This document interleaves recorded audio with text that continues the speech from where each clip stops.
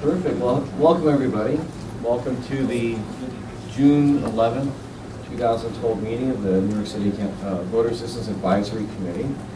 Um, uh, and uh, at this meeting, we have one new participant, uh, J.C. Polanco, uh, who is here um, uh, representing Dawn Sandow. Um, J.C. is a commissioner from the Bronx Board of Elections. We're very pleased to have you. Welcome. Appreciate it. Um, So I think uh, the first, uh, first piece of business is to um, approve the minutes from our April 2nd, 2012 meeting. Do I hear a motion? All in favor? Aye. Okay, thank you. Um, So report of the chair. That's me. Okay, perfect. Um, So this morning, um, uh, I gave testimony um, to the New York City Council um, with respect to resolution number 1343, um, which is an attempt by the council to support common sense use of technology to improve the way that we conduct our elections. And it's a a relatively broad, broad-ranging um, initiative to support things like online voter registration, um, to, but most specifically to improving the process of counting votes um, immediately as part of the election. Um, as, as many of you probably know, there, there's, a, there's a process to essentially uh, provide a real-time or near, real-time estimate of, of, the, uh, of the results of the election, followed by certification. And this resolution was an attempt to um, seek um, improvements in that process by the uh, Board of Elections. And uh, I had the uh, privilege of testifying this morning in support of that resolution. Um, As um, those of you know, um, we also um, came out this year with a, um, with our 2011, 2012 voter assistance um, annual report. And um, this meeting is our official hearing to take public comments on that report. I have no further updates. Okay. I just have a couple of things. You can hear me. Uh, One, in addition to the uh, annual report, we uh, just recently issued a, a report of uh, statistics uh, analyzing who votes in New York City. It's a, the work of a group of graduate students at NYU, uh, part of their Wagner School capstone program, and it has lots of very interesting statistics uh, about who votes and where they vote and why, not necessarily why, but what kinds of characteristics. And it'll be very helpful in focusing our work for the coming year on populations that are underrepresented in the voting pool, although frankly, throwing dart in pretty much every place is underrepresented in the voting pool in New York City because the voter turnout is so low. But, um, and I just wanted to comment on two things. Uh, uh, WFUV, the public radio station based at Fordham University, conducted an in-depth interview with Onida Coward Mayers, our Director of Voter Assistance, about our activities, and that uh, will be aired on WFUV, aired, I don't know, broadcast, I don't know what it is on radio, um, on, on June 23rd. Uh, and also this afternoon, probably being broadcast maybe while we're talking, uh, I was interviewed by WNYC about the capstone report that I was just talking about, about the statistics in voter participation in New York City. Um, so that should be, you know, a snippet on the evening news tonight on WNYC. That's it. Anita? Well, just a couple of just a couple of things to update on. The last meeting, we did talk about our surveys coming out for the June 26th election and the TLCs, of the taxi uh, and limousine, uh, the, the taxis. So you can look for them. I'm encouraging everyone that if you're in a taxi on June 26th straight through July 2nd, this survey will run on all in all taxis and um, we're, we're looking forward to see what the response will be like. And basically, what we're asking people is, did they vote on election day, and to report on some of their experiences. And it's a way for us to get some information um, on how people feel as well. So we're looking forward to that. Again, that's one of the efforts through our agency-based voter participation with the TLC And the reason for that is each agency really looks for ways that they can reach to their constituents to bring a message of the importance of voting and to do their part in helping to strengthen uh, the electoral process. And for the TLC, they wanted it to serve as pretty much a reminder. So while they're piloting it this June 26th, it will be again uh, during the general election also. And that gives us a little time for tweaking if we need it. Also, we have launched our NYC Votes Street Team. So it's a group of interns who will be working with us over the summer.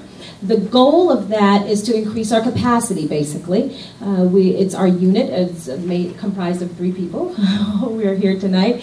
And what we're trying to do is get to more communities throughout the city.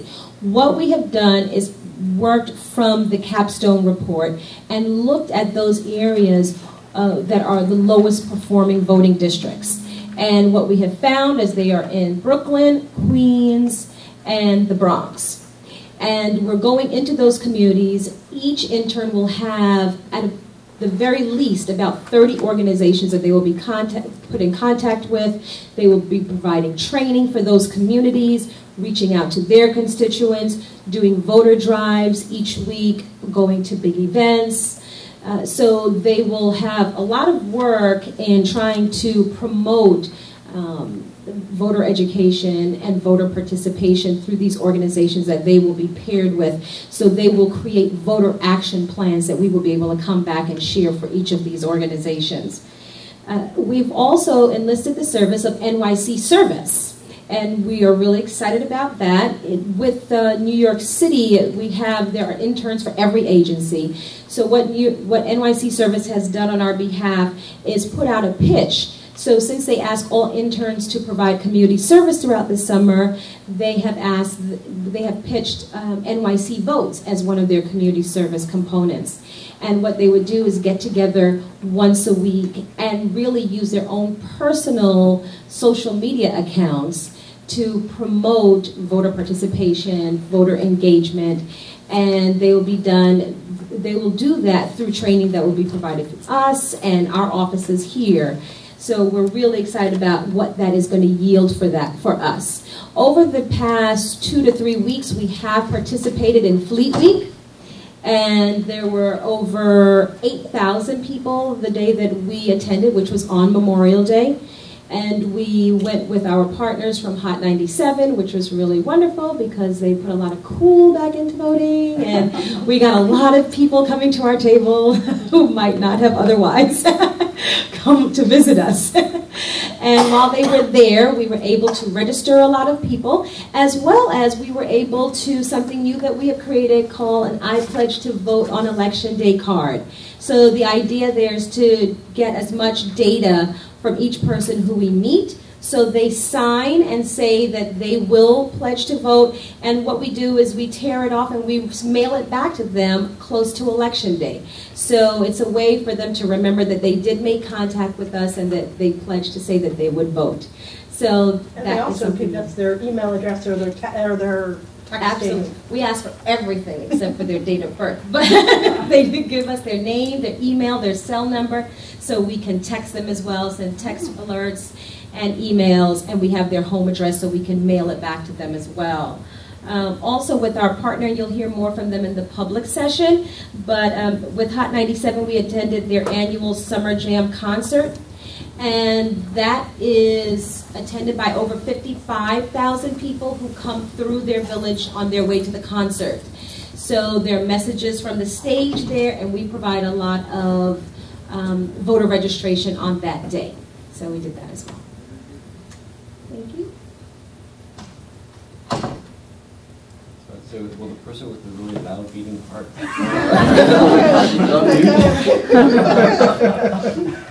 Anita got so Someone excited. would be more passionate than me? Who is it?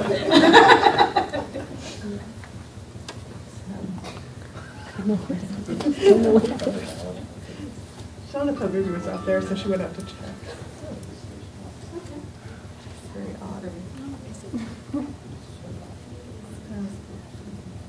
Okay. Um, Are we Thank good Yes, you need to- you need to- there are. I'm? Oh, it's stopped. It's microphone out. Use I'm good, I'm good, yes, I am. thank you. Perfect. Um, Well, um, now we go into the, into the public hearing part of our, Well, I think no, Tony is one going to thing, give right, us a, a little update on pending legislation. thank you. Um, Thank you. And just to follow up a little bit about what Art talked about earlier, testified about some legislation. VAC has been um, uh, tracking legislation um, uh, for the past year, and we've weighed in on some pieces of legislation. Clearly, it's a big part of our mission, because if we can be helpful in streamlining the process and making it easier for people to vote, it's certainly right in line with our overall goal and mission. You know, along that line, along those lines, before I get into a couple of, mention a couple pieces of legislation in the city council, I'd like to recommend that we, we move to the next stage of sort of formalizing a little bit more our legislative efforts, because I think that we've been doing it in a way that's been a little bit ad hoc, just because as we develop what we're doing here, uh, but I think we probably can take a much more, I think, proactive approach and maybe uh, be a catalyst for putting together some groups that would want to get behind much of this legislation, I would imagine, is, you know, there's always the devils in the details, but the concept usually seems to be universal of making things easier for people to get to, to vote. So I think we could be a strong catalyst to organize some groups and see if we can uh, be more proactive on legislation, both city and state. And certainly the state is where a lot of this has to rest. But I'd make a recommendation that we see if we can uh, uh, work to put together something a little bit more structured so that we are not just responding as it comes in the door, maybe make some recommendations for legislation. We have a whole agenda in our report, which some, some people may comment on, which I think we could start right there and just keep moving forward with those initiatives. So, um, put that out for the, for the group to think about and, and see if we can move forward on that. Um, There are a bunch of pieces of legislation that are making their way at various stages through the city council, and I'll just touch on a few, just so we have a sense, because we're not sure if any of them, other than the one that Art uh, testified at earlier, are, are fully developed to enough detail that they're ready to be voted on, but uh, Councilman Lander has one out there that would require the Board of Election to report data uh, required by the mayor's management report to the city council. Again, we need to review that and see whether that makes sense. It's, it's in, it's sort of in development stages. Um, uh, Lappin, Councilwoman has a, uh, a bill that would establish a poll worker program that give incentive for municipal, municipal workers to uh, work on election day. Um, uh, You know, again, the devil's in the details of how that would work, but encouraging more people to become part of the pool for election workers. Um, Councilman Williams has a bill out there that would require the Board of Elections to report for particular city agencies the number of New Yorkers who completed voter registration forms while seeking city services. Um, And uh, there's another bill by Councilman Greenfield that would require voter registration forms to be provided to parents enrolling children in schools. Could be a good idea. Uh, uh, Councilwoman uh, Dick- Dickens would, has a bill that would require Campaign Finance Board to send email notifications of election dates, deadlines, and ballots to registered voters and collect email addresses. We've talked about that bill before, it's still out there. Um, So that's just a sample of some of the bills, but uh, we have a whole legislative list of items that we'd like to see at the state level that's in our report. And uh, I think it would be good to put together a, a- more formalized structure for that, put together possibly a coalition of groups to kind of get behind those and be more proactive about some of the legislation. But these are the ones that are just pending out there. We haven't taken a position on many of them just because a lot of them are not developed yet. But as they get closer, we'll come back and make a recommendation as to whether or not we should take any action or support or not support a particular bill. That's what we are. That's terrific. I mean, just, let me just ask you a question. I think it's interesting that, um, all these different efforts are so, so fragmented at this point. Um, You know, there seems to be a, a kind of a need as well for some kind of a, a center of gravity for those efforts. Um, And, and looking through this, have you seen anything like that? Is that something that we should be doing more of? Yeah, I, I mean, I think that's, that's kind of the idea. I think there are some groups out there that would welcome our uh, being a catalyst for organizing, and everybody brings to the table a different constituency, and I think as a quasi-governmental agency, I think we could bring some support to things that maybe are not getting the traction that they should be getting. But if they're clearly within our, our mandate, I think, you know, it's incumbent upon us to, to be part of that coalition, help maybe form it. And maybe we have either more resources, even though we don't have a ton of resources, but we have more resources than they might have to bring people together. And I'm sure the elected officials who are trying to move forward a good bill would appreciate a- boost and a support from a, a broader coalition. Anything else? Yeah, Thank you, perfect report. Thanks so much. Um, So now I guess we'll, kick- we'll start the hearing part of, um, of our agenda. Um, I, I do want to just uh, um, uh, read a little bit from the, uh, from the report. There are things here that I think are, are quite important for us to, to remember. Um, the opening paragraph, um, is, is, I think, terrific. It's basically, all New Yorkers have the right to choose their leaders through free democratic elections. Over the past century, many Americans have fought and died to preserve or extend that right in wars abroad and here at home. Hard-won political and legal struggles have helped open the political process in practically every American who wants to take part. Yet too many New Yorkers are sitting out our election. The challenge is to make New Yorkers reconnect to their government. And um, one of the things here that we're, we're we're doing, and I think this comes through in the report and through our ongoing effort, is the goal is to engage New Yorkers more directly in civic life using all the tools available in this technologically connected age. Um, Achieving real measurable growth in civic engagement requires a commitment to widespread efforts to engage with large numbers of voters by leveraging new technologies and building partnerships. And um, this is, this is really an important part of what we're doing, and we say, you know, change won't come overnight, but the potential is boundless. And we must leverage the tools that we have to reach a statistically significant portion of New York City's six million voting age citizens. And um, what I'd like to point out is that um, this is actually the first year of an existence for the Voter Assistance Advisory Committee. Um, You know, the, the work that Tony's done, the work that Anita's done is certainly a continuation of past efforts, but we have an opportunity to consolidate those efforts and really become a focal point for a lot of the efforts that are happening um, in the government, and then being the point of connection, an open API, if you will, to what's happening out there in the civic sphere. Um, We, um, it took us almost a full year to actually get our full complement of members, um, but it's terrific that we have them now.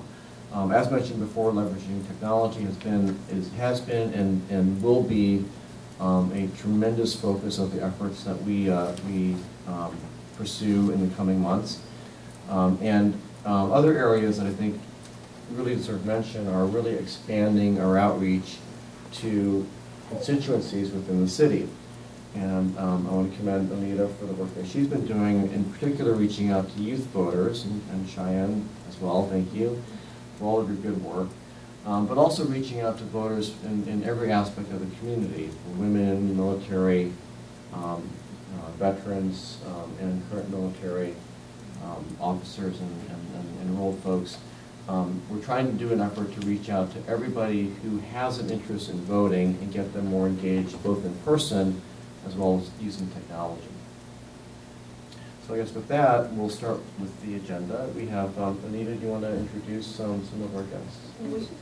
If you indulge me, we actually needed to make a change, but I- if you give me, I I would actually bear my indulgence. I wanted to just show you, uh, Anita talked about our street teams, and, um, you know, I I really want, this is a real innovation, and I really commend, you know, her staff, or and her staff, for coming up with this idea of sending a group of interns out into the city to work with community groups during the summer when people have a lot of outdoor events, lots of people get together. It's really the perfect time for that. And so I just wanted, Chan's going to show you, what this is our T-shirt that we uh, developed, uh, you know, for our street teams to wear when they're off doing their work at these big events.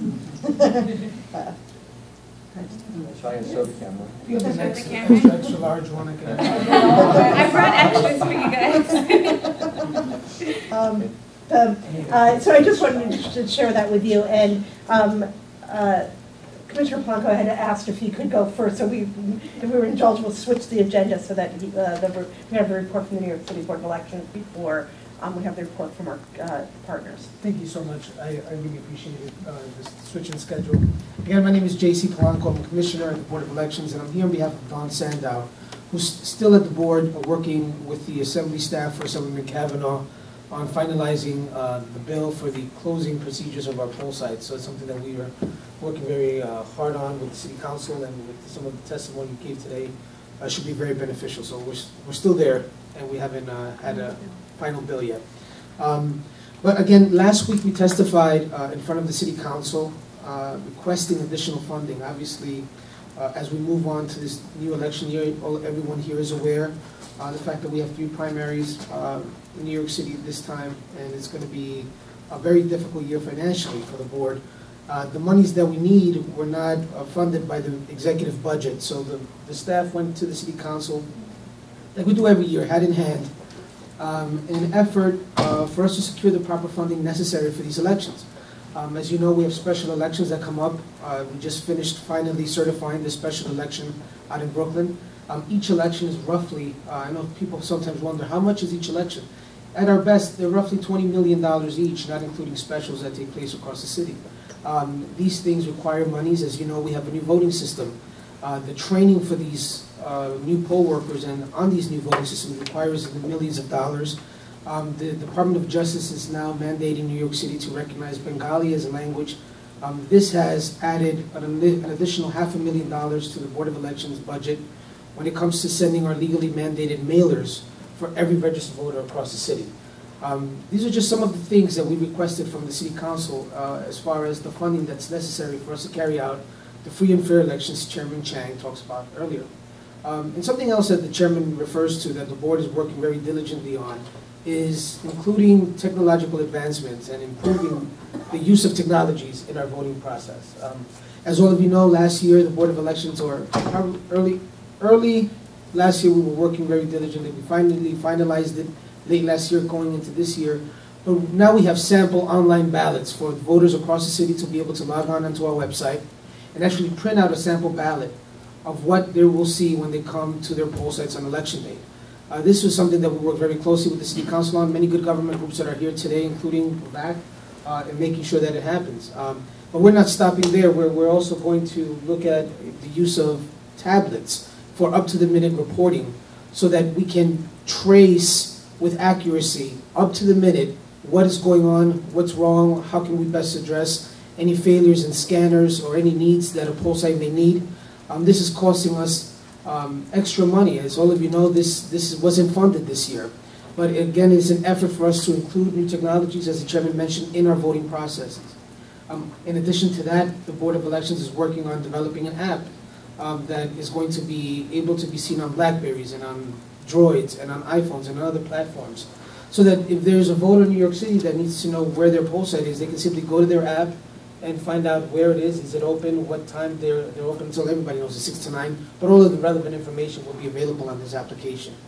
These are some of the things we're doing. And and finally, this, there's two other things that we have incorporated at the board that I think are very important um, as far as technology is concerned, and that is um, having voters report on Twitter uh, and on Facebook um, how their experience has been uh, at the poll site.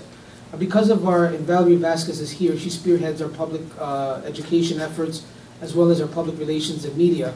Uh, But she's, she's able to trace these things and uh, we're able to know as commissioners what's going on, as well as our key staff to be able to deploy the necessary staff to either replace a scanner, make sure we have the requisite number of poll workers at a specific poll site. These are just some of the things that we're doing as we move the board into the 21st century. Um, We're going to continue improving, uh, continue streamlining, continue modernizing our system so that every New Yorker is confident and comfortable in this new system. Uh, But we can't stop here. We need to make sure the city council funds these elections appropriately um, so that we can continue to plan for successful elections um, moving forward. Now, oh, thank you, Valerie.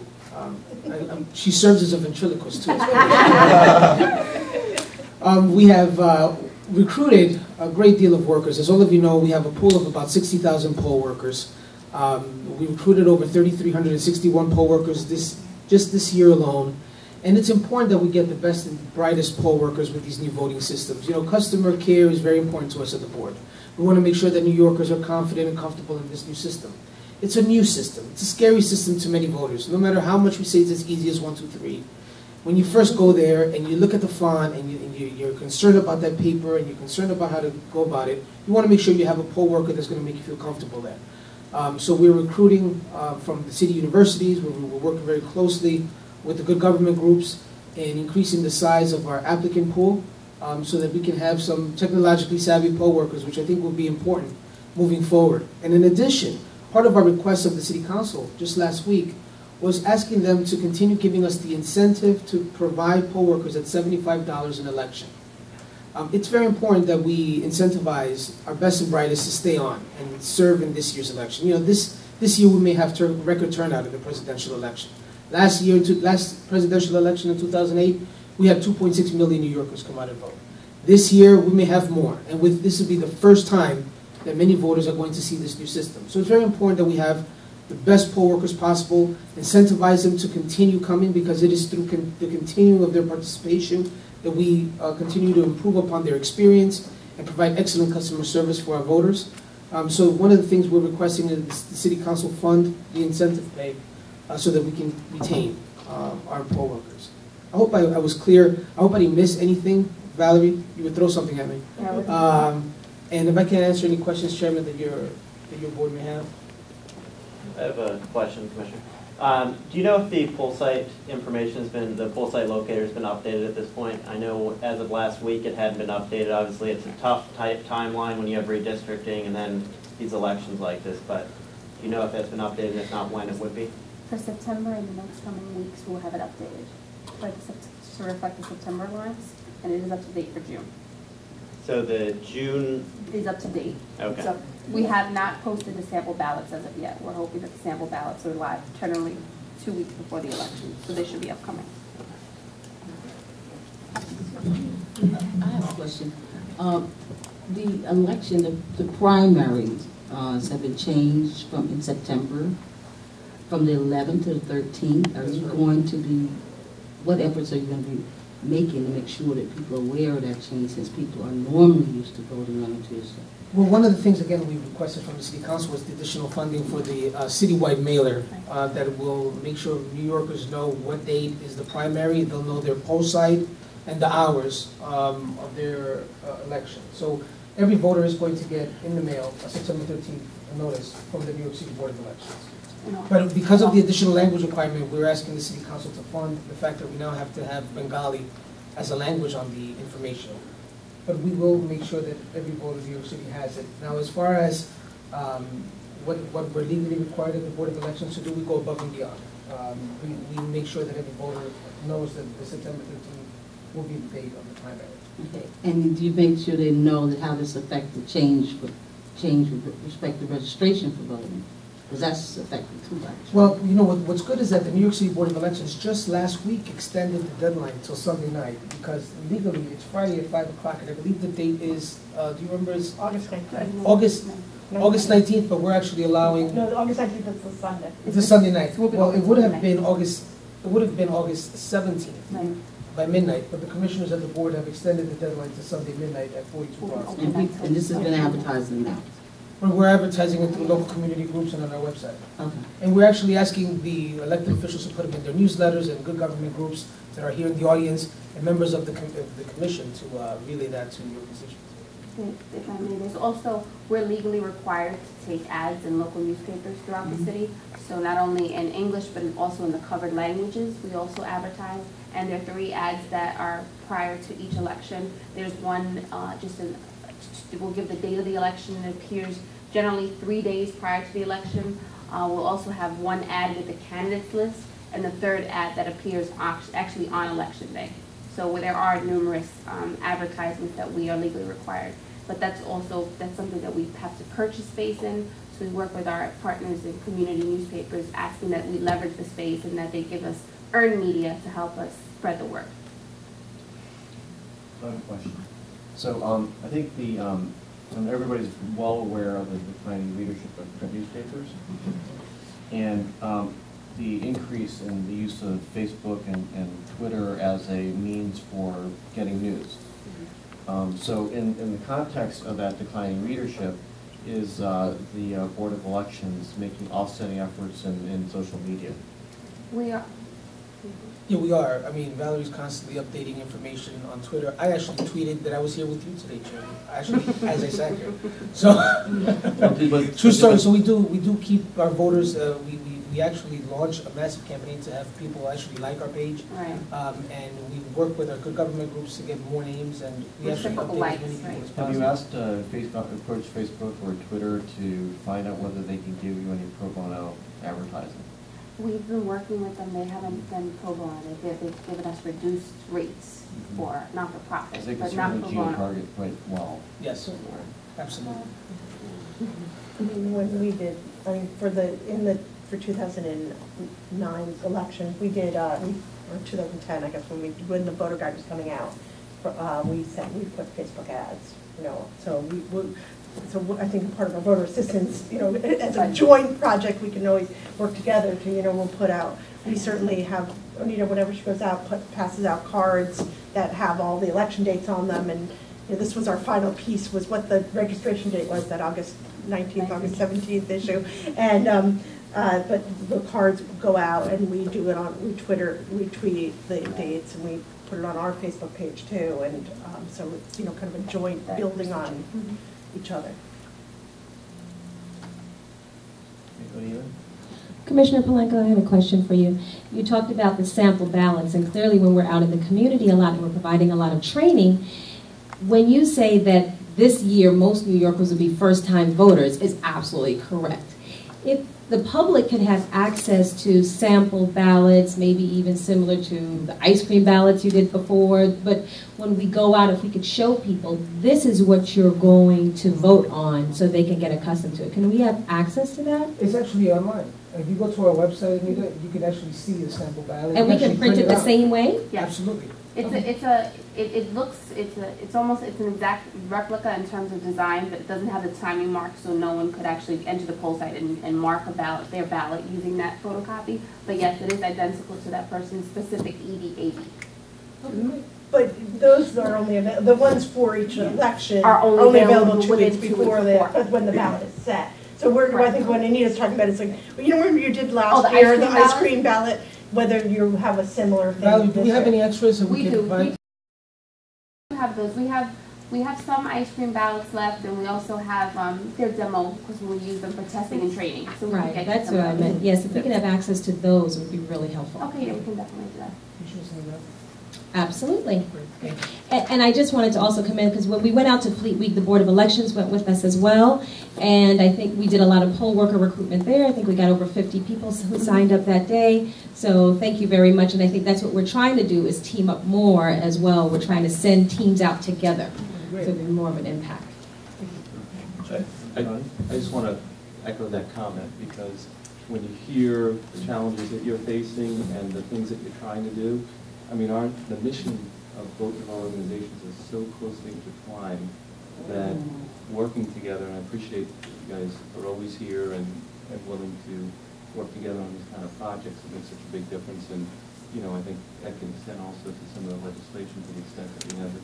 We agree on a piece of legislation that might work, but, uh, um, but working together is, I think, critical, because everything that you enumerated earlier, if the voter doesn't have a good experience, if the voter doesn't know there's an election, we're trying to get that information out there, you're trying to get it out there, but if they don't know those things, or they have a bad experience, they're not coming back. Um, and I love your app idea, because voters, one of the biggest frustrations they have is where do they vote? Mhm. And even when they go there, sometimes they're in the wrong place, change a poll site, so the app, I think, is a great idea. Just need to get funded. Well, that might be a good thing, I'd be able to, that might actually be a good thing to, to the uh, open source community um, here in New York. And I'd say that one of the things that, that I think is, is, is is of great interest would also be to build in reminders, the alerts for when to vote, where to vote as well. Thank you. Are Thank you, any- Chairman. By the way, are you, uh, um, are you taking off? Yes, I have to. Are there- Are there any members of the public who'd like to ask any questions of uh, Commissioner Polanco before he has to depart? Okay, well, thank you very much. Thank you, Chairman. Have a good day. Thank you so much. Okay, Thank you. Okay, next, um, uh, so we have, um, community groups and partners that I think Anita will, will introduce. Anita, you have the floor. Yes, Um, thank you very much. I was happy, you know, for this, um, our, our next annual meeting, what we do is we try to invite some of our partners in as well to talk about the projects that we've been working on together. They are still, you know, very organic. We continue to grow. The first one I'm going to invite up is Angelique Tyree from Hot 97 Hip Hop Votes. She's their publicist and, and one of their project managers. Um, our our partnership with Hot 97 has been about four years now. And we're just really excited about meeting new people there all the time. Thank you. Angelique. So, hello, I'm Angelique. Sorry for being a little late. Um, I'll just briefly talk about what Hip Hop Votes is at Hot 97. I don't know if you all are aware of it. Um, as Nita stated, we began this um, this service project four years ago, and it's expanded since then. Um, well, actually, I want to also say this. I'm here on behalf of Tanisha Benjamin. Uh, she just like contacted me at the last minute and told me to come out and let you all know about Hip Hop Votes. So sorry if I seem a little flustered or all over the place. But um, basically, we met with NYC Votes a couple months ago where Anita was there, and we discussed our partnership um, and joining with Rock the Vote, uh, Voto Latino, and different organizations with um, NYC Votes for Hip Hop Votes. Um, and from that, we felt like it would be an excellent match. And our aim is basically to reach the hip hop community, like the Hot 97 listeners. And we feel like our jocks and, you know, our, our uh, I guess our presence in New York will definitely be a huge asset to the uh, NYC votes. Um, briefly, what we've done so far, we haven't had a chance to really, I guess, do as much as we want to with hip hop votes because we were in the whole summer jam mode for the past few months. So now that it's summer, we're done with summer jam, we're really focusing on hip hop votes. But what we've done prior to summer jam was, um, well, actually at the summer jam event, we had over 55,000 people to attend, and voters assistance was actually there and was able to reach a crowd of 55,000 who attended the festival village. So their message was able to expand across a lot of people who listened to Hot 97. Um, we also had um, a Push for Peace event. I don't know if you all are aware of the Push for Peace event we had in the Bronx in May. It's with Lisa Evers. She's a street soldier um, host, and also she's a host for Fox. And basically, what that event is is they it was a, uh, I believe it was an audience of 300 people who were there, um, ranging from ages five to like 70. And basically, they were talking about the importance of getting gang violence um, out of the streets of the Bronx, and basically um, promoting positive changes and choices for the youth in that community. So we were able to register 50 people there out of 300, and we were able to expand our message to 500, well, 300 to 500 people. Um, also, at Fleet Week, um, during Memorial Day weekend, we had our street team assist voter assistance. Uh, and as Anita had mentioned, we were able to register over 50 new voters, 47 to 50 new voters. Mhm. And we were able to engage over 500 people during that event as well.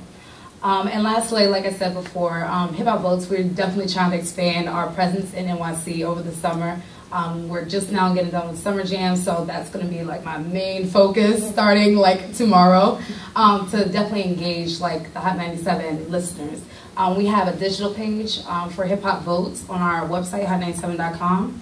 And there we partnered with um, Rock the Vote, where voters are actually able to go online and vote, because we know not everyone wants to have the paper application and you know fill it out. So we have that um, online, and that's readily accessible to them. And we also have paper forms in uh, Spanish and English for Connecticut, New Jersey, and New York for voters too. So we have that in the offices, and we also bring that to our events with us as well to try to get more people to register to vote. I think what we're also hearing from Angelique was as she has to go down that trail of all those papers that people need to register to vote, that is one of the things that we're hearing when we go out with Hot 97, is that their um, audience want to be able to register to vote electronically. So that is a big barrier um, to reaching out to those audiences for sure. And so far, we have 200 people online who registered to vote, as opposed to like the 50 that we had at the Push for Peace event and you know, the other events that we're going to. So we definitely, like our online presence is definitely like a major, you know, I guess, part of our whole uh, campaign. So. And, and Hot 97 donating all of this time and effort to this campaign. Yes, um, we actually have, um, I don't know if you've heard of our foundation, it's called the Hip Hop Has Heart Foundation. And through that, we have funds that we have that are um, accessible for this, me, for this Hip Hop Votes campaign. So we have um, pens, t-shirts, things, like different things that we're also going to give out as like, you know, just prizes and stuff for people, incentives for people to vote. Um, so yeah, it's all coming from our foundation, that money is. Thank you for doing that. You're welcome. That's great. How many people do you have working with you? Right now, it was me and another guy, um, but no longer works with us anymore. So I have a team that I'm getting together starting this week. Um, that's going to start like helping me with this. Um, I'm also working with Tanisha Benjamin, who's a senior director of promotions, and we're gonna like put. We also have a street team that's working with us as well. That makes up a street team, which consists of 30 people. So when they go out into events, they have like the voter registrations forms with them. They're aware of how they're supposed to, you know, promote like voter registration and things like that as well. How many, uh, how many people do you think you've registered in the past year? in the past year. Um, well, since this is new, and I'm just I'm just now the project manager for this um, campaign, we've registered so far 200 online, 50 at the Push for Peace, um, 50 with um, Anita at the Fleet Week. So around 300 plus, I would say so far. And that's not even like heavily pushing. And that's in the past Okay. how long? Um, so that's we started this campaign. I want to say in March, like late early March. So it's you know fairly new. We haven't really pushed it as much as we you know want to because our focus has been on like a lot of things. But now that you know our schedules are calming down a little bit, we're trying to really like hone in on this hip hop votes campaign. Perfect. I'm just interested, just specifically, how do you, how do you run the online registration piece of it? So what we do, we uh, we actually we also we integrate it with our social media campaign. So with our Twitter um, feed, we have at least six Twitter posts that run that give like different things. Like for one, for instance, we have a poll on our digital site that says, you know, what community um, or what um, what community issue has like the major has a major impact on you, and we'll run that through our Twitter feed, and then people will or viewers are able to click on the link and are directed to the page, and right on the page it has register here to vote. So uh, I guess the viewers are able to go on the site and see that they're able to vote, and we also try to push that initiative through like our Twitter and Facebook as well. So they have to print the registration form and then mail it in? No, they they can actually register online because um, Rock the Vote. Yeah, Rock They the Vote. probably pull it, oh, well, you know, with Rock the Vote, they have a national form, so that Yeah, it's could a be national for form. some of the other states, but definitely not for New York State.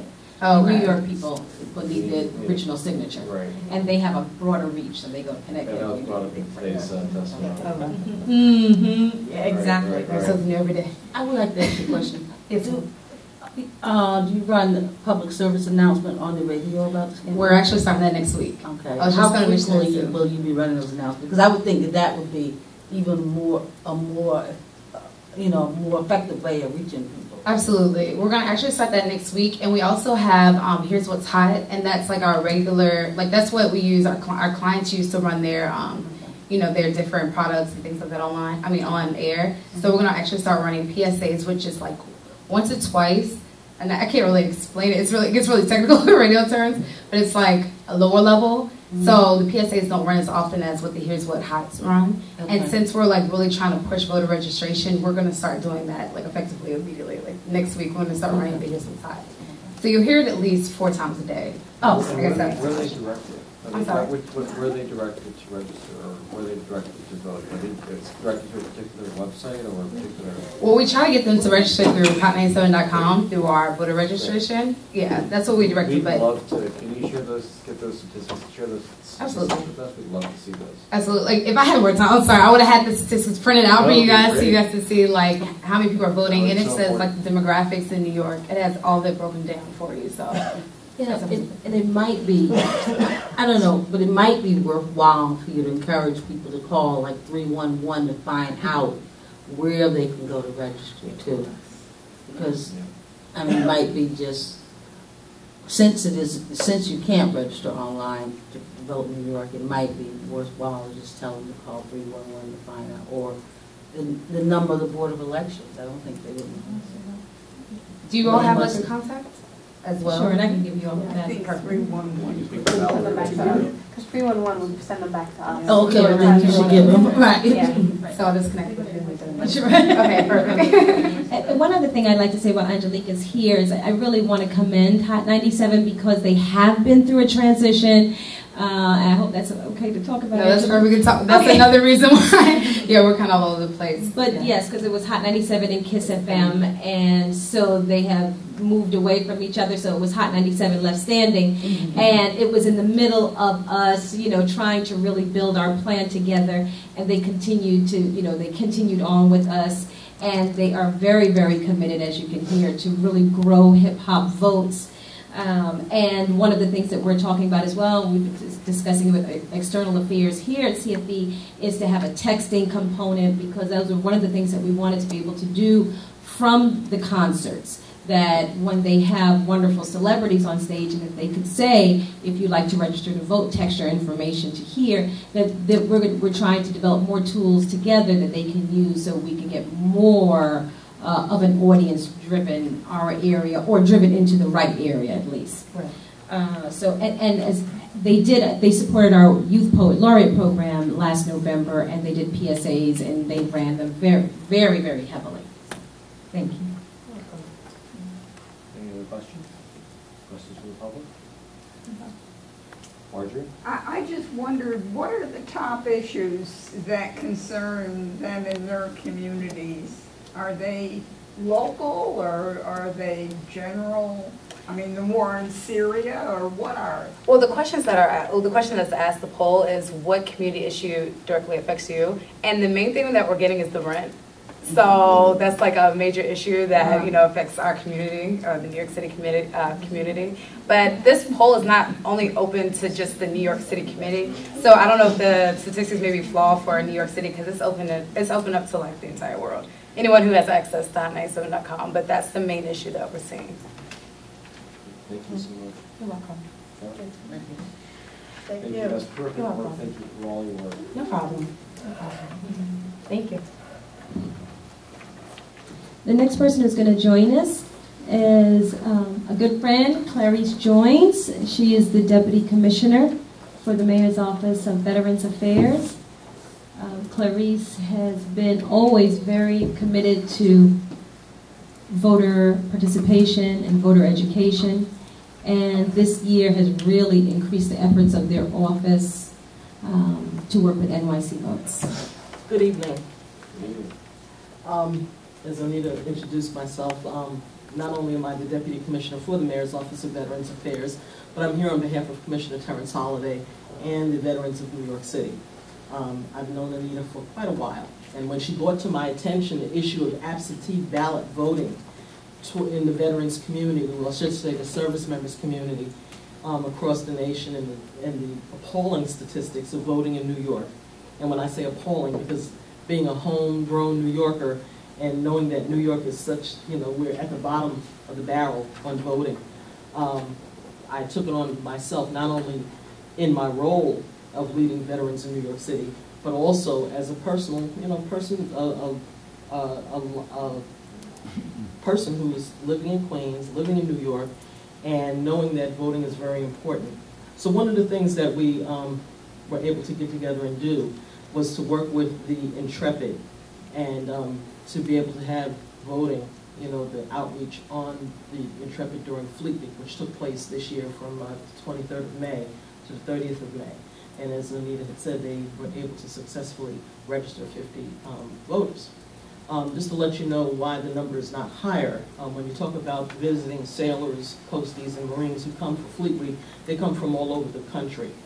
And we weren't so much concerned that we weren't going to reach just, you know, New Yorkers. The, the idea of voting, getting the word out, we wanted to be able to spread the word to the audience that uses absentee ballots, and that's the service members and their families, which a lot of people are not aware of. They concentrate on the service members themselves, but you have to remember you have a population of the families that are stationed overseas with the active duty um, member, and then you also have federal employees, which we found out through, again, working with not only the um, military, but working with the Federal Voter Assistance Program, and to be able to come together and talk about um, the possible audience when you talk about absentee ballot voting. Um, One of the statistics that we were able to find that in New York State alone, we have about 90,000 reserve, active duty, and National Guard members in New York State. And so this concerns them, absentee ballot uh, registration. And then also if they're, you know, New Yorkers and, you know, they have to be able to get their vote in on time and have their ballot um, cast, you know, not only for themselves, again, for their family members. So um, that's what we were able to do, is to form this partnership, in which it was successful, um, getting the word out. Um, We also have 207,000 veterans in the five boroughs. And the word of, you know, getting out, um, the word to the community, saying where to vote, how to get the information out. Um, MOVA has a website, so we'll be putting that information. In fact, it's there. Um, We've always kept a link to voter, you know, voter assistance and everything, but we'll be updating it to go with the new New York Votes campaign. And then also, we're on Facebook and we're on Twitter. And the reasons why we use that is to get information not only about, out about what we're doing at MOVA, but the population of veterans that are coming out from this war. They're the younger generation, and that's how they get their information. So the idea I heard uh, mentioning about an app, it's very important because that's how they get their information, even from us about um, veterans benefits. Um, so being updated on social media is very important because that's how they get a lot of their information. We just um, went live on YouTube, so if you have anything that needs to be streamed there, we definitely will welcome any information that can be streamed that way as well. Um, because we really take this very seriously. I know um, Mayor Bloomberg has given directions to all city agencies to get the information out as much as possible about voting. Um, you know, and it's it's not a um, a political thing. It's it's about personal right, and we take that very very seriously to get that information out. I have, for Mike, I have two questions.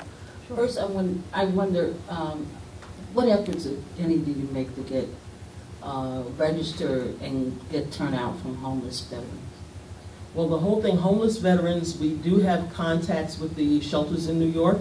So we do have that information that goes um, through the shelter system, and that's through our Department of Homeless Services. And we do work um, together closely with them. We have um, Borden Avenue Veterans Residents in Queens, who are veterans up in the Bronx. We also have the East 119th Street Shelter in Manhattan, and a couple of new shelters that have popped up in the area. So we do get the information out to them and make sure that they're registered. Okay. And I have another question, do you, and what, you know, what relationships you work with, like, community groups like Black Vets for Social Justice? Absolutely. And all those groups to help them register and with your.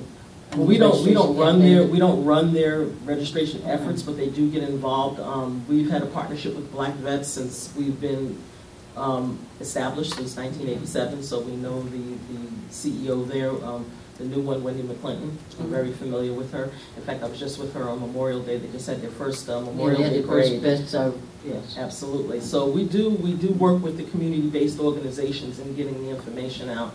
And we take as much information as we get from Anita, and we, when we um, go to any ceremonies or events, or we're out and about, we're always taking pamphlets and information with us. So we get the word out by any means necessary, getting it out and about to the community. All right, thank you. You're very welcome. And through Clarice, we've actually, she's given us the names of those um, homes throughout the city, and we've gone, we've done voter registration drives, and as well as provided training in each of those um, locations. Because we have about 400 different chapters of veterans organizations across the five boroughs.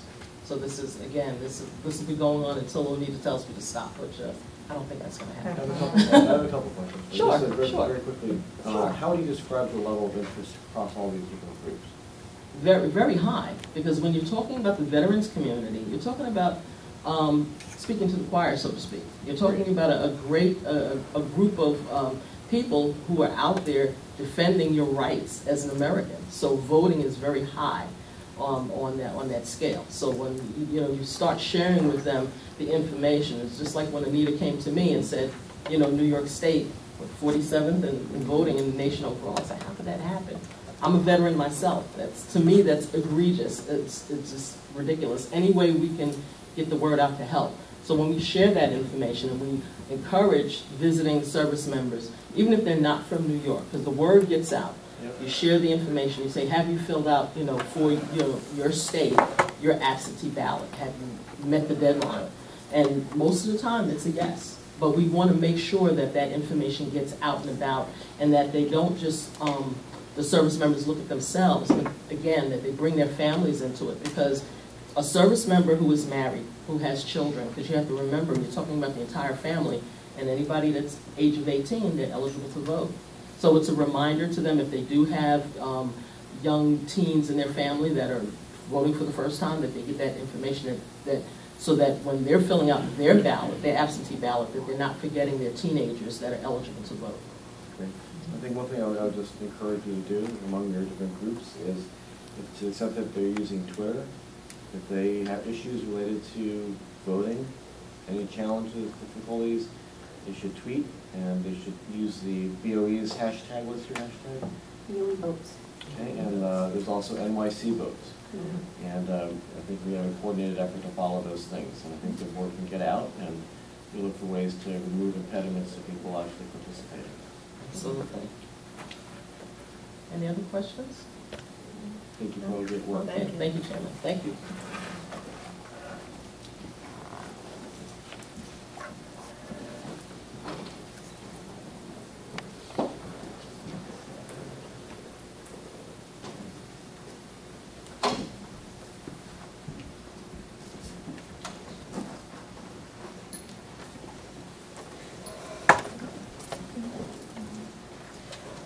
Um, So uh, now we are going to have a a presentation from the very talented students who prepared our capstone report. They're going to just uh, do a presentation and uh, the kind of the highlights from their report. Uh, So wanted to welcome, welcome, uh, and why don't you introduce yourselves to the committee? Um, And I guess, uh, you know what might be good is if you take these, you know, this microphone and, or that, yeah, and then you can take the one that's there and use those. Um, so. If I could just say something, um, I think going to leave, but we have two very young citizens, Andrew and Julia Casino, who are sitting in the very back, who are listening attentively, and uh, they are going to be fantastic participants in the future. So thank you very much for your patience and forbearance and allowing us to already bother for this event. Thank you for coming.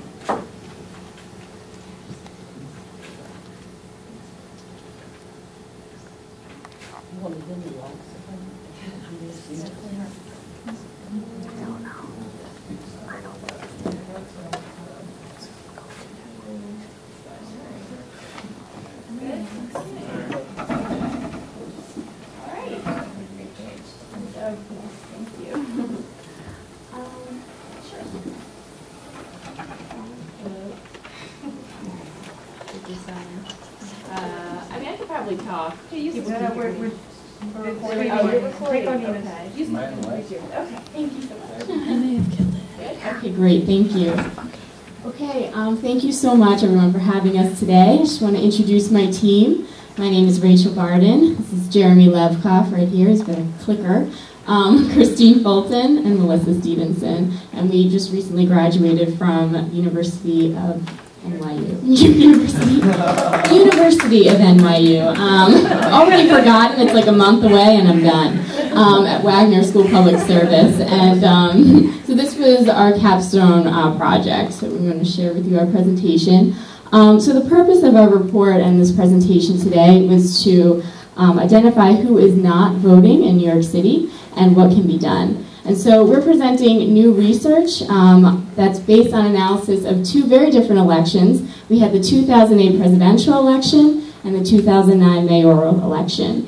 Um, and so we chose these years because they were the most recent presidential and mayoral elections um, that we could study in New York City. And so we thought they would be the most useful in order to, you know, inform targeted outreach for the upcoming presidential and mayoral elections.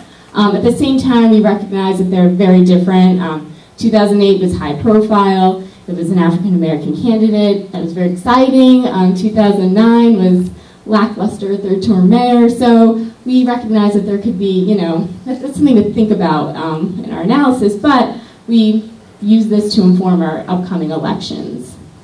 So the purpose of this um, analysis was to address the problem that we've discussed all day, which is the low voter turnout in New York City relative to um, the nation and the state. Um, so this shows low tur turnout among eligible citizens. Um, nationwide in 2010, there was about 45% turnout.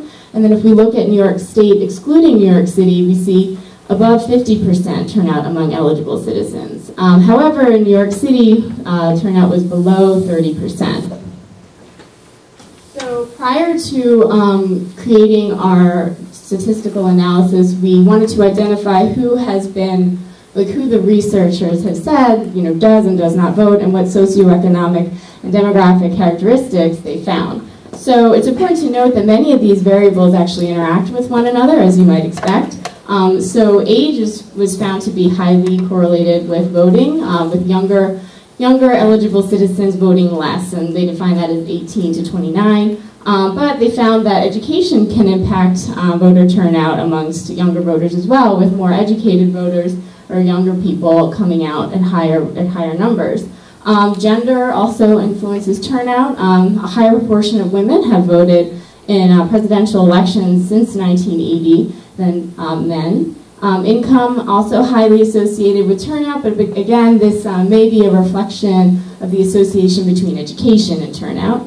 Um, studies have also shown that racial and ethnic minorities vote at lower rates than whites, but some researchers attribute this to differences in education and income and not race. And naturalized citizens have also been identified as turning out lower and, that, and lower rates, and then residential mobility has been found to be a high predictor of turnout because people who have to change when they move, they change addresses, and then you have to um, change your registration. So, we also found that there's um, several non-demographic factors that have been associated with turnout. Um, some have found that people with disabilities have a perception that the poll sites will not be as accessible, and this may influence their, their coming out to the polls. Um, researchers have identified a group effect, so the people who belong to clubs or religious institutions have come out more to vote. Um, married couples have been shown to vote at higher rates.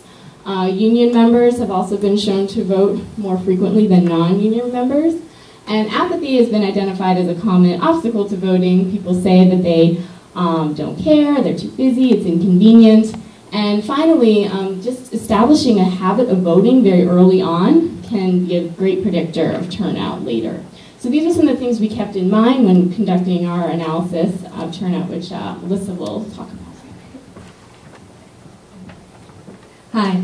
Um, so for our analysis of New York City, uh, uh, we started by looking at how different socioeconomic and demographic factors influence turnout in the 2008 and 2009 general elections, as Rachel already stated. So it's important to note that in our analysis, we um, use the census tract as the unit of analysis. So we were looking at turnout rates in census tracts and how they are associated with different uh, socioeconomic and demographic factors, which were in percentages. So um, we also so that eligible voters are citizens age 18 and older. Those are estimates of the number of citizens in each tract in New York City.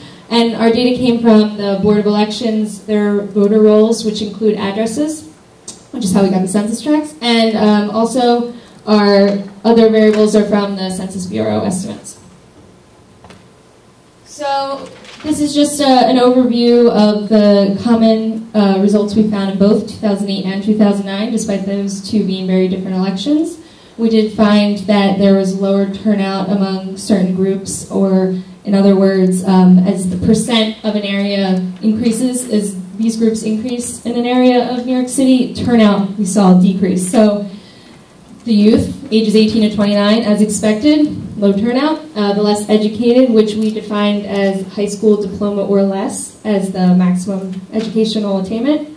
Men, people who lived in their home less than one year, um, as in they were in a different home over a year ago. Naturalized citizens as opposed to native born citizens. And married couple families actually had a negative uh, association with turnout, which was the one real surprising thing that came up in our results. But it was in both 2008 and 2009. Um, and government workers, which was kind of strange. We uh, included government workers as sort of a proxy for civic engagement or union membership, which we couldn't uh, get that at the census tract level in our data, so we used government workers, but it was uh, negative in both years. Um, cut off a little, sorry. Um, so there were some key differences between 2008 and 2009, although not that many, to be honest. Um, in 2008, the percent Asian actually was associated with a negative turnout.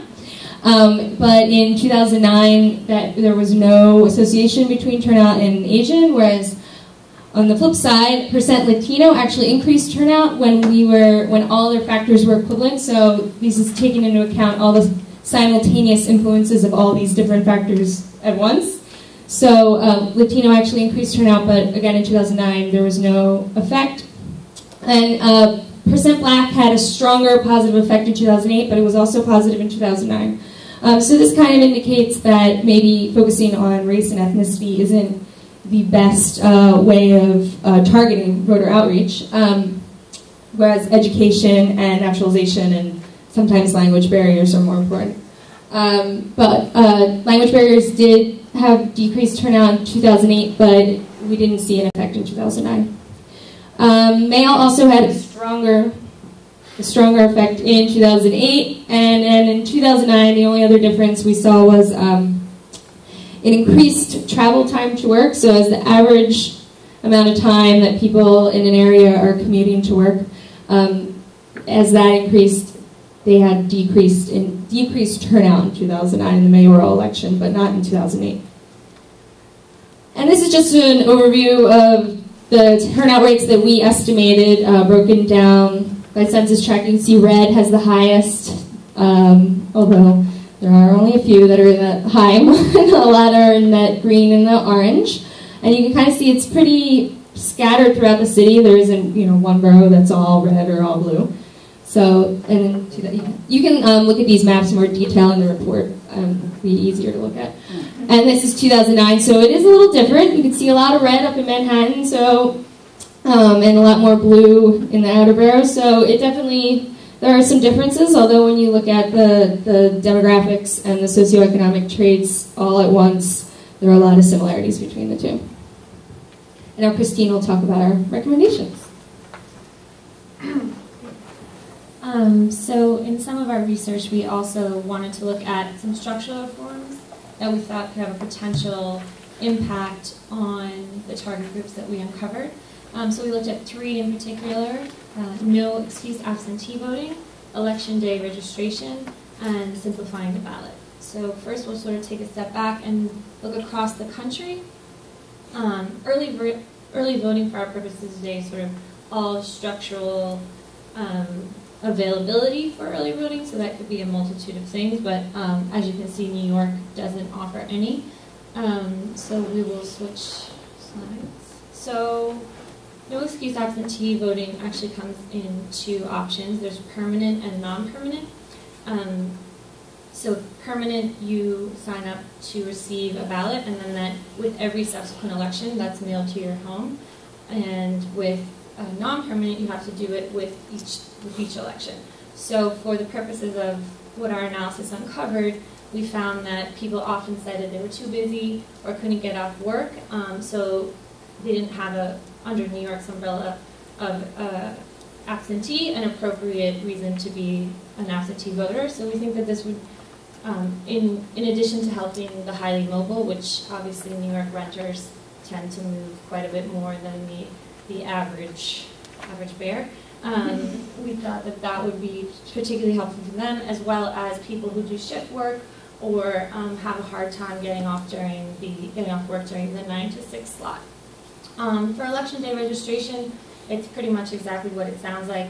You can register to vote um, the same day and do that all at your poll site. Uh, so again, we're sort of hitting those hitting those groups who may move more than more than others. Um, naturalized citizens we found often aren't registered in the appropriate window. Um, also, some research uncovered that um, the media hype and, and public engagement happen within the window of uh, excuse me uh, happen within the window of registration being closed. So in New York, that's three weeks up to the election. So there's really often a huge push by candidates, by media outlets for you know, get out to vote and people realize they're not registered and therefore cannot vote. So we thought that this would be a way to incorporate and, and grab some of those voters who may be a little bit behind. behind. Um, simplify the ballot was something we saw a lot. We did a um, we did a survey of community groups. Um, it was cited often that um, the ballot design was was difficult for people, and that just an easier, more straightforward ballot would make them more confident in the voting experience. So again, confidence um, and a positive experience we thought would hit all New Yorkers. Um, and yeah, so that is a little snapshot of our presentation. We are happy to field any questions. There's also, um, looks like there's copies of our report if anyone wants to delve in a bit more to some of the issues we covered. Report, thank you very much.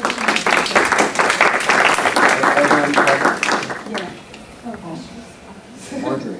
Uh, Wonderful presentation. You know, I think when they put into the city charter that there would be a voter assistance commission, I think that's what they expected them to produce, this kind of work. But, um, and so you've done a wonderful presentation. Let me ask you a question about what's not there. Did you give any thought to competitive elections encouraging voter turnout? Because you could do an analysis there. Um, that, yeah, that question has come up, um, and there are also, I mean, there are a lot of things that were not included that could have been included, but um, we, in order to do that, I think we would have had to compare more elections and just, we had a, a bit of a time limitation, being that this was done during our academic year. So that would be great for further research to compare more elections, especially between more competitive elections. I think that that's a pretty on point. Yeah. And a, a lot of the research we found said that when an election was more competitive, turnout was higher. So it's definitely a, a worthwhile option to look into with, without the time constraints. Yeah, and something that was interesting was that in 2009, we found, as um, Melissa mentioned, that travel time, as that increased um, in a census tract to commute to work, um, then, um, then registration, or not registration, then voter turnout decreased. So that we found like a logical, like when the, the election was less exciting to people, that people did vote less based on like, you know, convenience. So um, definitely that's an area that should be explored more. And we have all the data, we plan to continue to do more research, and, and that is definitely one of the areas to look at. Are you all, did you all graduate? Yeah, I hope so.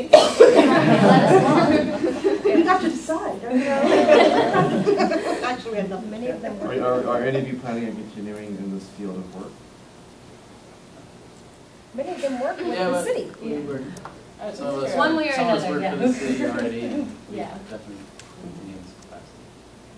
Terrific. Well, when I see, uh, when I see Ellen Dean Schall, then I'll, I'll let her know that you, that you should pass. uh, work. We appreciate it. And I'm actually a part of the uh, Reynolds Fellowship Program as an advisor. Oh, wow, okay. So, Congratulations. Thank Fantastic.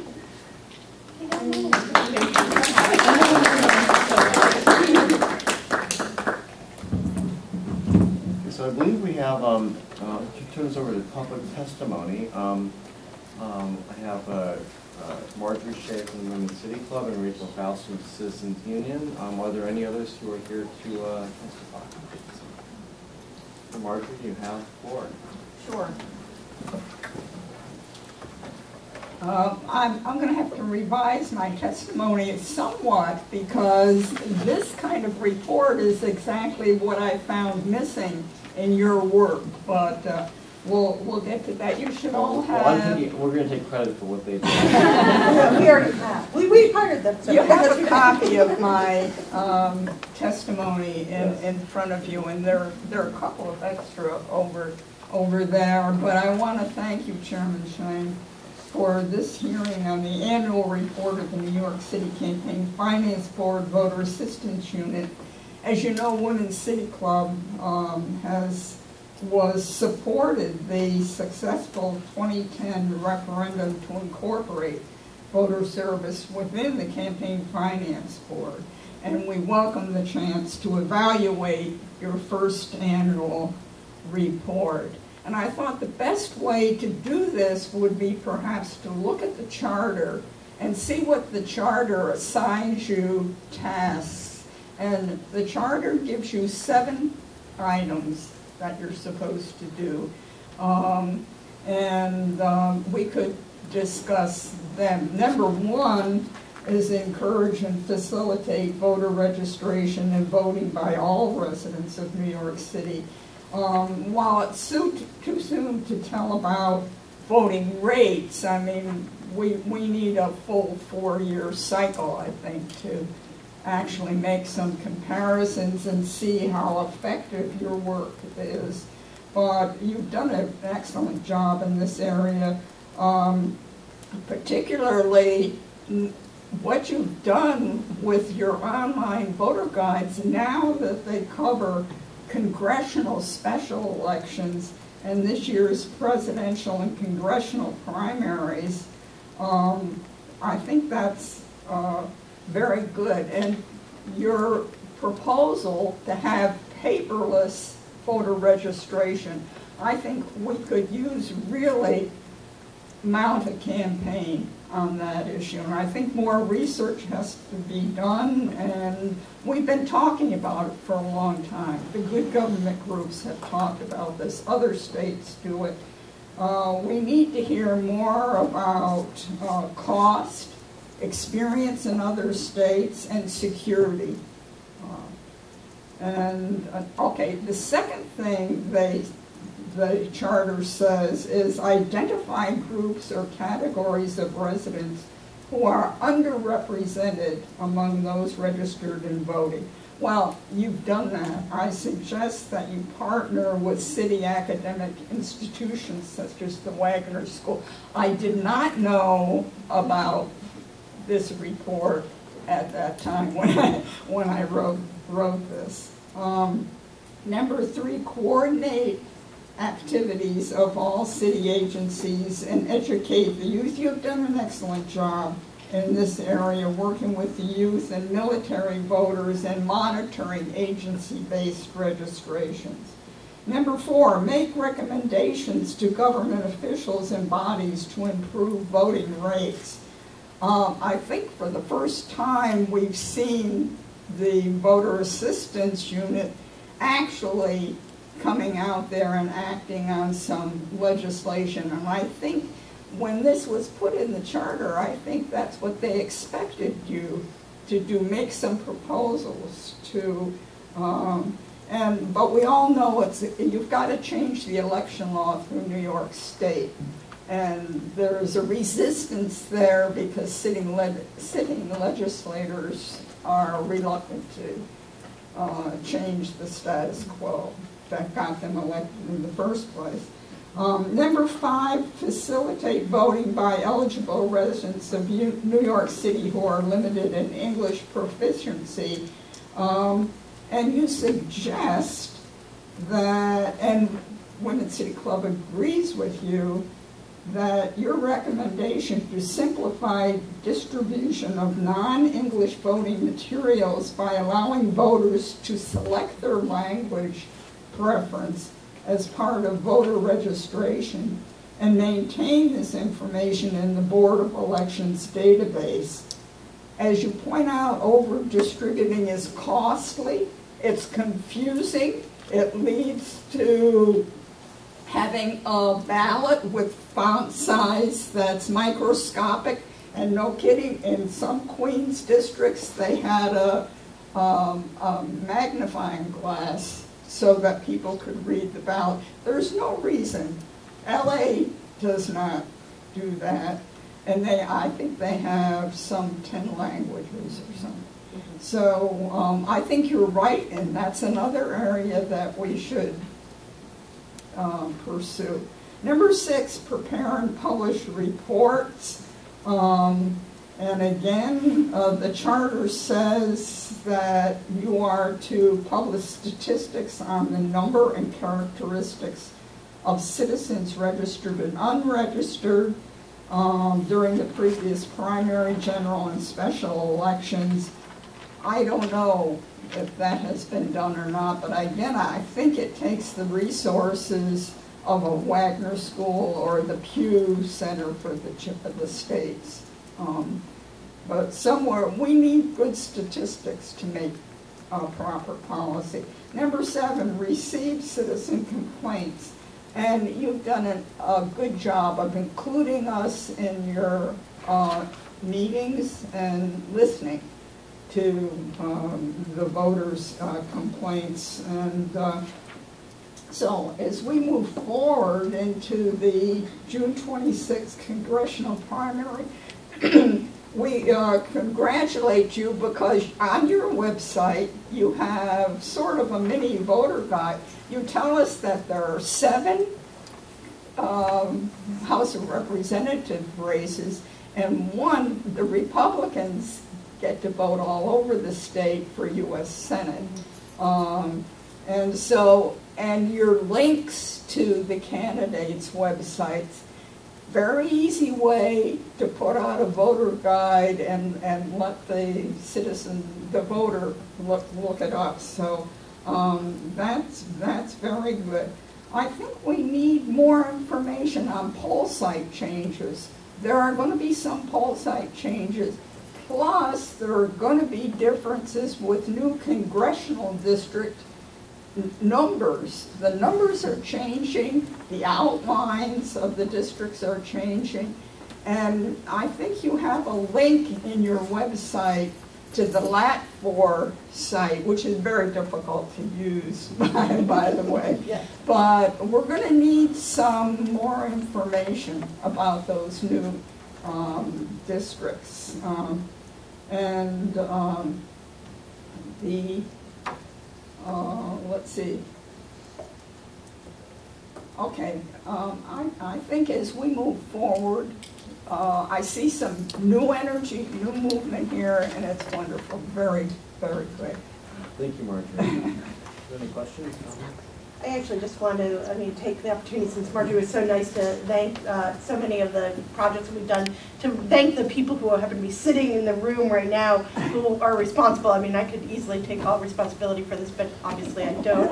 Um, But everybody knows Anita, who, you know, really, you know, the enthusiasm is amazing. But her staff, uh, Cheyenne Zapp, who is our youth voter coordinator, and uh, Stuart, who is, who handles coordinating all of our agency work, so all of the intermittent things that we've seen at the agencies, and they're overseen by Shauna Dickinson, who is our Deputy Director of Operations, and um, Eric Friedman, who is our our, our External Affairs Director, who also worked with our capstone group to produce this wonderful report.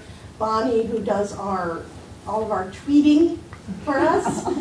Um, And uh, Crystal and uh, Kristen, who, Crystal and Kristen, who are both are responsible for doing the web, uh, this uh, web streaming, but also are responsible for doing the website and that great voter guide that you saw on the um, website. So I wanted to just thank all of them, and of course, we're always supported by our legal staff and, and the entire staff of our, to produce the publications and all the work that we do. But I just wanted to thank the people who are in the room for all the really hard work that they did. And thank you for the nice things that you said about us. Okay, so, uh, so Ra- Rachel Fauss. And I didn't have anyone to hand this to because. Oh, okay, so sorry. if you don't mind, I'll just give it to you now. Okay.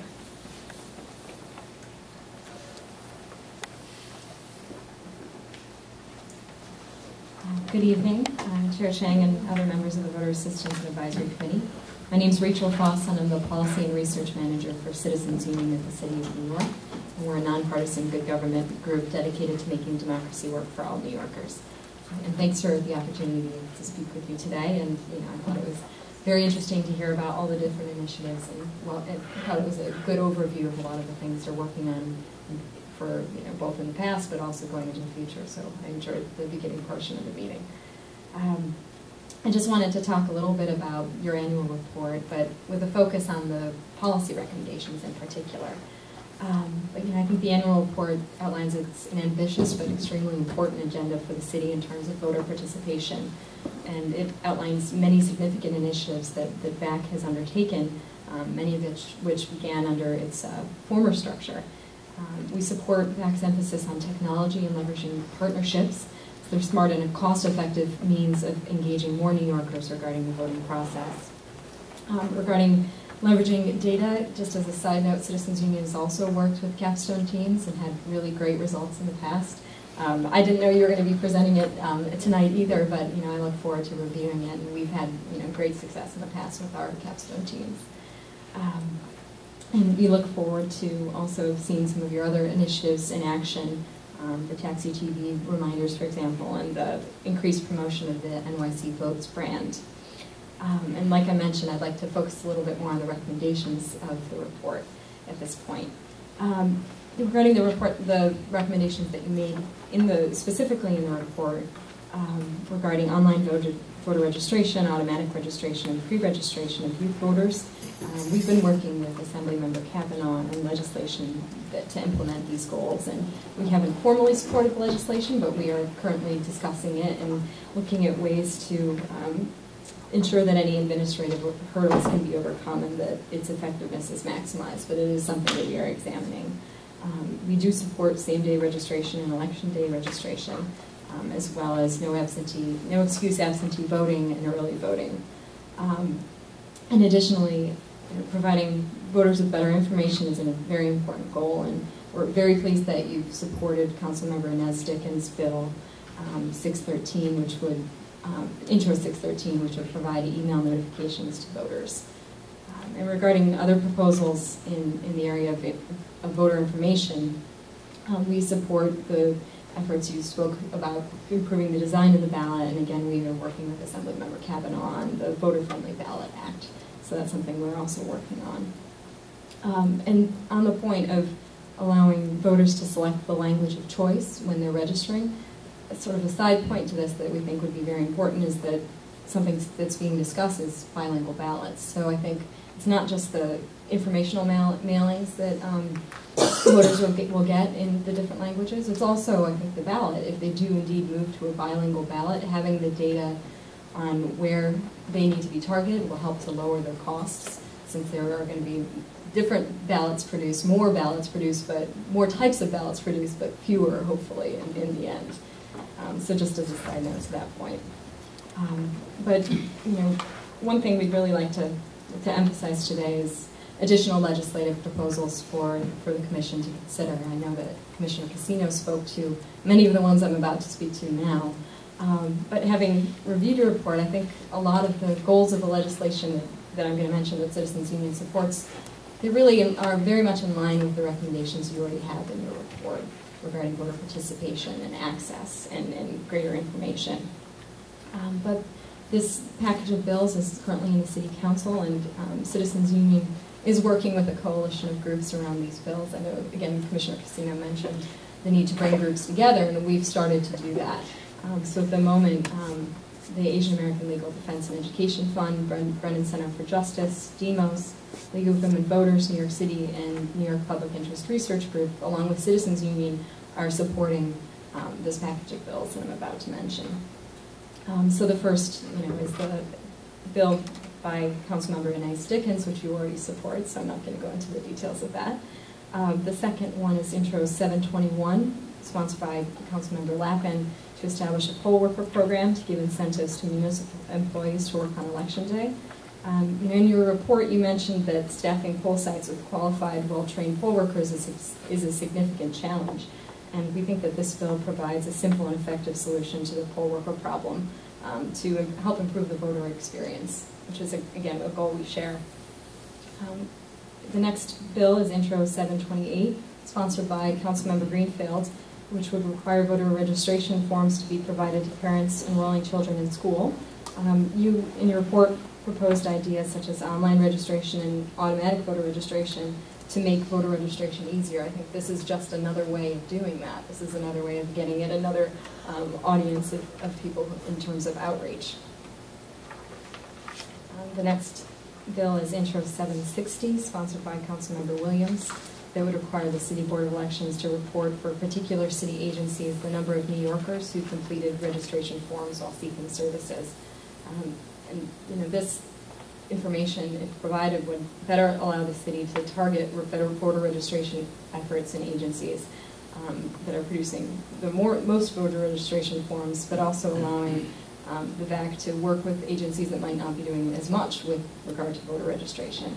Um, And know, given your many partnerships with city agencies, and then you specifically mentioned um, the Office of, Mayor's Office of Veteran Services, I might have the name a little bit wrong there, but, you know, I think given that effort and other efforts, this type of information would be very helpful for you. Um, The next bill is Intro 769, introduced by Councilmember Eugene, which would expand the city's voter guide to include more city races and state and federal elections, so voters are more informed about all the contests on the ballot. Um, You know, I think there's been some discussion today about your efforts around the June 26th congressional primaries. Um, We know you've also done more with regard to the special elections earlier this year. Um, So we really see this as an extension and a formalization of the work that you've already started to do. Um, So I think that, you know, it's again, a goal we both share. And the, the last bill is Intro 778, sponsored by, sponsored by Councilmember Lander, to require the City Board of Elections to report data required by the Mayor's Management Report to the City Council.